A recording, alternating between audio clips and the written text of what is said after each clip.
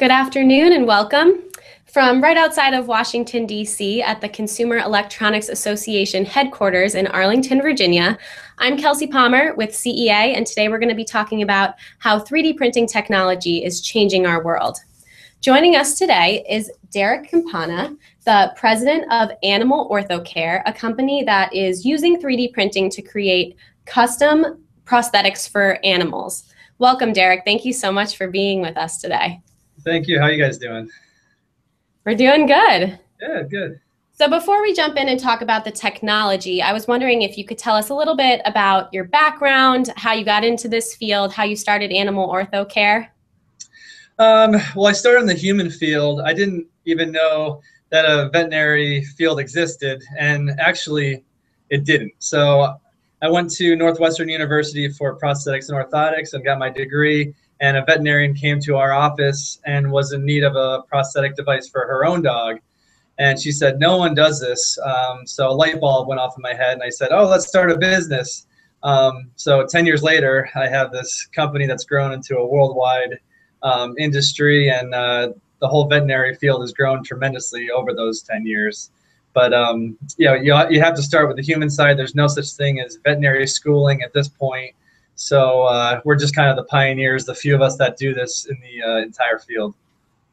And Animal Ortho Care is is one of the few firms in the country that that does what you do, correct? It is a few firms in the world. Um, there's probably about six to eight of us in the world that do this. Uh, me and a company in Colorado were the first two to start. And from there, just a few companies have been added on um, just because it's a pretty difficult field to get into and maintain. But we've been able to do that. Um, and, and the industry's growing, and we're getting into bigger, brighter technology as we're talking about today. Yes, definitely. So, how did you first get started um, using 3D printing? Um, I was contacted by 3D Systems. They had one of their employees fostering a dog named Derby who had a congenital forelimb deformity. I actually have his body uh, as a printed form. This is Derby's body with the forelimb deformity. Um, they contacted me, and the the employee said, "Oh, why can't we use 3D printing to make prosthetics for this dog?" Um, no one's ever done it before, so they came to our our facility and asked us a few questions on how we could do this. Um, I initially used some of our traditional methods of casting his legs, and from there we were able to go into the freeform software, some of the technology we use for 3D manufacturing, and we were able to create the prosthetics through that. And that was kind of the initial initial uh, 3D printing story and, and world's first uh, dog to get 3D printed prosthetics. That's awesome. So, uh, did you experiment with different designs and different materials when you were working with Derby? Um, so we our focus was to get the socket manufactured correctly. That's the most important part. So I was in charge of designing the just the socket that his arms fit into. Um, I have a 3D printed socket right here. So Derby's arms would fit directly into these um, on both sides. And then 3D Systems and I kind of helped design what you see today. This is one of his 3D printed devices right here. Um, we started with just more of a peg leg design, and then we created this circular form, and that seemed to work better for them. We've only used uh, certain materials with Derby um, that I know of, but 3D Systems uh, is working on using some different materials to see if they can uh, do a better job with what he has currently. Okay. So what what is the process for a new client that was coming to you and you were going to use 3D printing to help them get a new prosthetic? What would what would be the process that you would go through? Since it works so well with Derby, we would pretty much do the same thing. It's really hard to 3D scan a dog's leg because of their fur. Um, we can do it one of two ways. Um, we send casting kits all over the world for owners or veterinarians to take molds of the dog's leg if they came to us, we would do the same thing. We would cast the dog's leg, make a negative mold, fill that with plaster of Paris, make a positive mold, um, and from there we would 3D scan that mold, put it into the system, and design around there um, to a printable form. Great. So, how are you planning on using the 3D printing moving forward? How do you see that technology helping your field? Uh, it the design capabilities are limitless with 3D printing and the free freeform um, software. So we love that part of it. The printing and the, the materials used we're still working with for durability. So what we've done is we've created these hybrid designs. We'll actually take and print 3D parts like this, and then we'll vacuum form our durable plastics right over top of it uh, to get something like this. So we'll get this foot, we'll put it right onto the, the mold, and then use plastics that we already have here, heat them up, and then vacuum form right over the top of these that gives us the design capabilities and the durability we're looking for, um, which is great on both sides. Yes, definitely. So, so are there any other 3D printing success stories you can tell us about? Any other great an- animals that you've helped out throughout through um, this technology? Yeah, we have a 3D, uh, or sorry, a three-legged dog in Florida named Susie. Um, she lost one of her front legs, so we were able to 3D print one of the world's first carts. Um, you can see Susie can put her existing limb right through this hole on this side, and then this acts as the opposite limb, and they can roll around like that. So that's one of the other things we've been doing is trying to create 3D printed carts. Um, on top of that, we've just had a few cases where we've made those hybrid prosthetics, like I showed you before, um, where we take the molds that we've we have existing and that can form right over the top of these. So we get we get cases every day. We get a lot of 3D companies that are trying to do this on their own, and the reason that they're failing is because they're trying to scan the dog's leg. Um, so it's really important to get a positive mold at first, and then 3D scan from there, and from there you can get a lot of uh, success stories. Do you do you have human clients that that request for you to use 3D printing technology? Do they are human clients that are bringing their their furry friends to you? do, do, you have clients that request you to use that? They do. Since Derby, we've had an influx of a lot of similar cases, and they're asking for that. Since we worked out a lot of the issues with Derby, we're able to manufacture these better 3D printed hybrid uh, prosthetics, and uh, we're getting good results with that. On another note, um, we're trying to get rid of the whole casting process.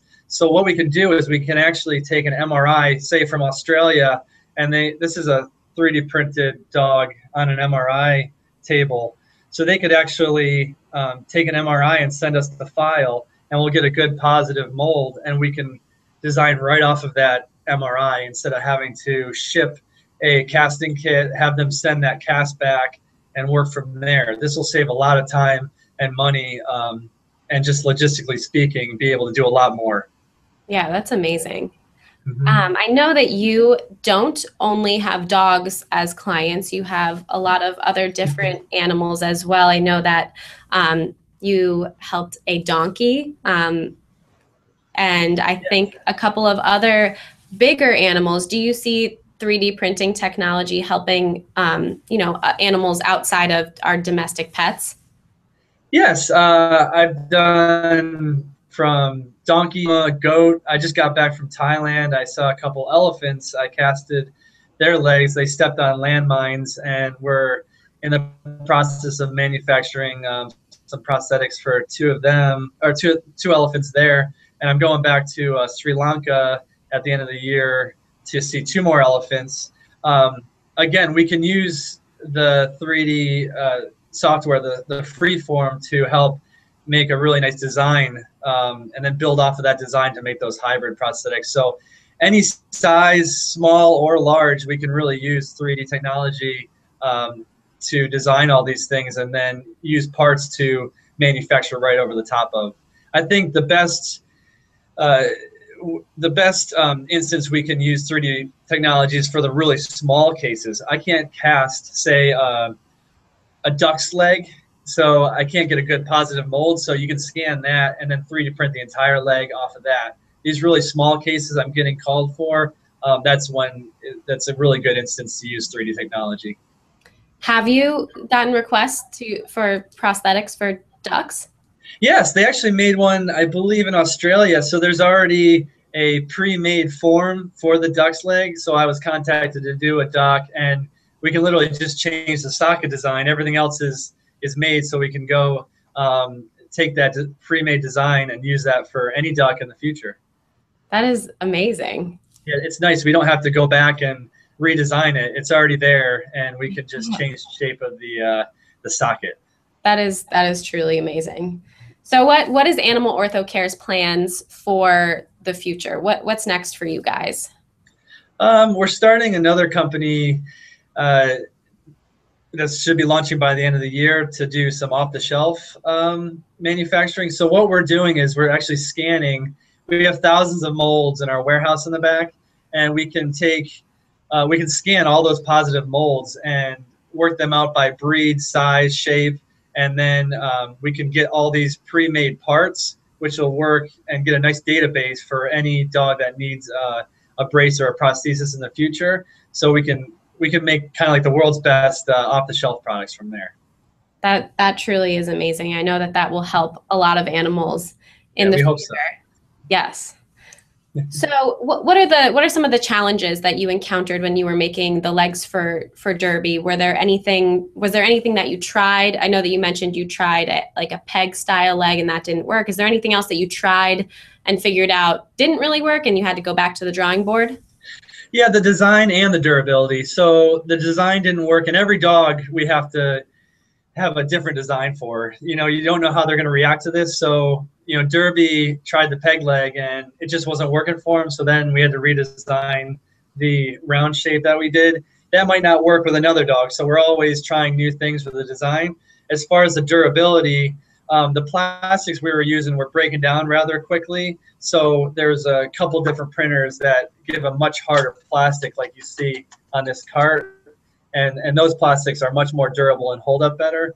And from there, we're actually making some new prototypes where we'll have a spring um, underneath the circular design. So we're actually going to add a second layer with a spring to it. Um, and that'll make sure that all these plastics on the, the structure hold up and, and lasts a lot longer.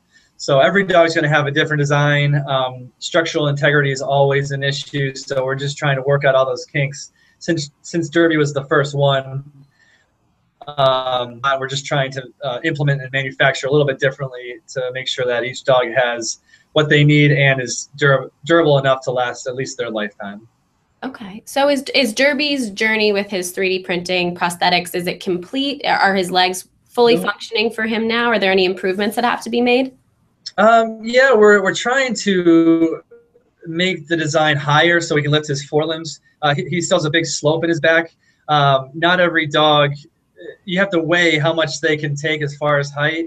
It's like putting someone somebody on stilts. You don't know how high they can go before they, they fall over. So we might not be able to get as high as um, as as level as we want to, but the higher the better to save his back in the future. So we're just trying to increase the height, make it more comfortable for Derby, so he can last longer on the prosthetics daily, and uh, from there uh, just just improve on height and design, just so he can be more stable. So it's a continual process throughout the lifetime. Every prosthetic patient is a lifetime patient. That's great. So there, there is a video, a really great video of Derby that we do have posted um, on our CEA blog that you can check out at ce.org slash blog. Um, it's definitely a tearjerker. It, it got to me, um, but Derrick is featured in that video as well. So I just wanted to ask, how how was that experience making that video? Just the, the entire experience of of working with Derby and clearly making such a big difference in that dog's life. Uh, watching it made myself as a dog lover very happy. And so I was just wondering what that experience was like for you. It was great. It's one of our um, biggest successes, actually. Um, I'm I was actually pessimistic. I wasn't very optimistic that he was going to walk so well. And we did a lot of filming here, and you know I, I like to give uh, the clients owners you know a true you know, kind of percentage on of success, what I think is going to happen. And I, I, was giving it more like a 30, 40% success rate because that's all I've seen with the use of the 3D printing and the prosthetics that were created. Obviously, it went through the roof and he, you saw how he walked and he, he could run on these things. So honestly, the first time I ever saw him run and walk was on that video. And again, just like you, I, am not a crier, but I was crying in the office. Um, and I was seeing so many people, uh, you know, email us and, and tell us how good of a job we did, and it's just one of those moments in uh, uh, an owner's, um, a company owner's life where you, you really think like you made a difference. I I agree. It was incredibly touching. I I have to say I watched the video many times and it brought me to tears pretty much every time. Yeah, me too, for sure. so is there anything else that that you'd like to discuss about 3D printing in your field? Any any other advancements that you're looking forward to? Uh, mostly, I'm looking forward to the advancements just in the materials. Um, we're happy to do these hybrid designs for now, but we would love to just have these devices printed out and to use forever. I think maybe it's not so much the material, but the design. So, like I said, we're still working out all those kinks. Um, hopefully, in the future, either the materials will, will change slightly, um, or the design. Our our brains will change slightly, so we can design it a little bit better. Um, I know they can print with almost anything right now.